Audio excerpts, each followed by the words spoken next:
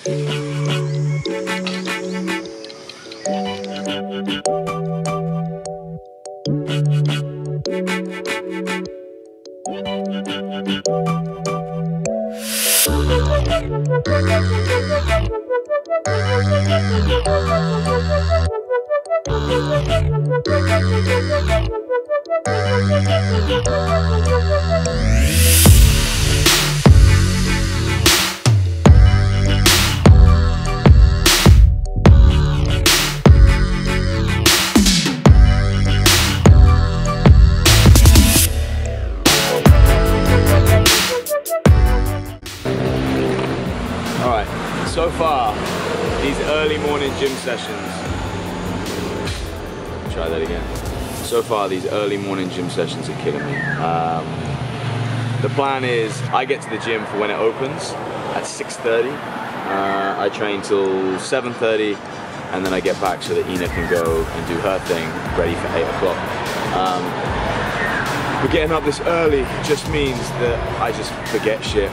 Um, so today is legs day, and if there's one session that I always like to be wearing my trainers, it's on legs day. When I'm pushing through my feet, leg press, things like that, I, ideally I want to be wearing trainers, but I didn't bring them. So today, this is the situation.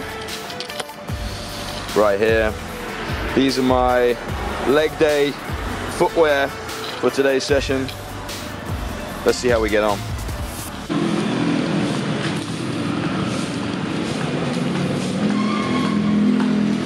Into the darkness. First one by the looks of it. Staff just got here.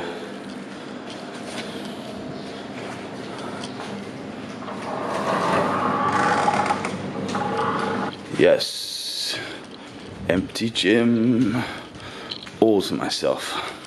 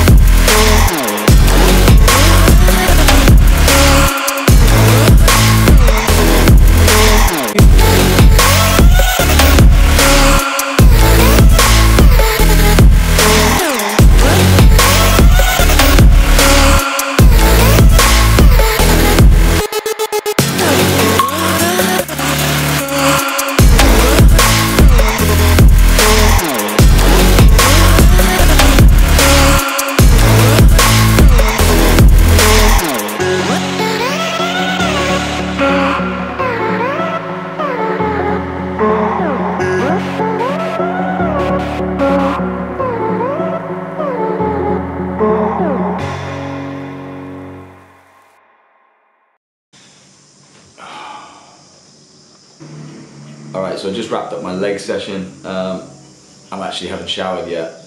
Malia's still asleep, so I'm trying to get this filmed before she wakes up. So fingers crossed. So back injuries. Back problems are becoming more and more common in the general population now. And that's through a mixture of things, whether it be from the fact that people spend more time sitting, um, or just the fact that people are not looking after themselves in the right way. They're not prioritizing their overall physical health. They're more prioritizing a certain look that they're trying to achieve. And the first thing that a lot of people do when they start to hurt is to just stop. They stop training, especially if you go and see your GP. The GP is going to say, okay, here, take this and stop exercising. That's probably the worst thing that you can do. Um, in an acute sense, when it first, when you first get an injury of any kind, yes, there is a certain period of time where it's probably a good idea to rest up. But generally speaking, if you've got a chronic back issue, if you've got something that's been playing up for a while, you need to move and you need to fix that issue. Resting it is not going to fix that issue. There are first two points that you need to focus on. The first point is what exercises or movements or positions aggravate the issue. If generally speaking, when you go to the gym, you can do 90% of a workout, but there's one thing that keeps aggravating your back, it's probably a good idea to stop doing that particular thing until you've figured out what it is that's actually causing it. So for me, that exercise is actually squats. For years, I've kind of had an on-off back problem and I can categorically say that every time that I start trying to get back into squatting, it all goes wrong. The pressure through the spine, the position, the fact that my body is not actually working the way it should be is meaning that when I squat, it's actually aggravating the issue. That's not to say that squats are bad. What they're saying is there's a problem with me that needs addressing before I can begin to squat. Once we take away squats, there's a ton of other exercises that I can do that don't aggravate my back. So that's point one. Find out what it is that aggravates and remove it. Point two, and probably the most important, and the thing that a lot of people aren't doing, is to find the root cause of the issue and deal with it. So yes, that means going to a physio, spending some money, um, before we came away to Thailand, I spent a couple of months seeing a physio twice a week. I went in there and I said, right, I want to find out what it is that's causing this problem and I want to put together an action plan to fix it that I can take away and work on myself. So once I actually spent some time, spent a couple of months with the physio and discovered what the issue was, now I can actually put together an action plan to fix that issue, which involves simply 10 to 15 minutes before each session in the gym, um, just doing a little bit of mobility and a little bit of activation. That 10 to 15 minutes doesn't actually have to be done in the gym. I am just doing it in the gym because I know 100% when I go to the gym, I'm there, I can focus and I can just get it done. Even though on a daily basis I struggle with my back, I manage to get through a pretty decent workout without cre creating myself any pain or discomfort. You don't get any points for being a fucking hero okay? If something is aggravating your back, it needs to go for now. So squats for me is completely out of the question. However, something like a hack squat, I'm fine with that. The back is supported, it's at an angle that doesn't put too much pressure through my back, and it means that I can still get some, get some good weight through my legs. The same with leg press, as long as I don't overload the weight.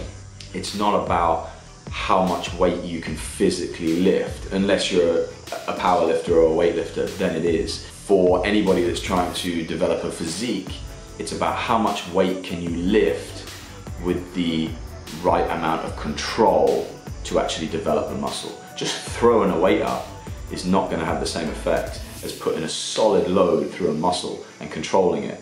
So guys, if you managed to take something away from this video, great, that's exactly why I'm doing it. Hopefully you liked it. If you do like it, please give it a thumbs up down below. Um, Please feel free to subscribe to the channel if you would like to see more. It's not just about training, we're gonna be talking about traveling and things as well, and doing it all with a baby. But yeah, if you like what you see, great, keep coming back, and I'll see you next time.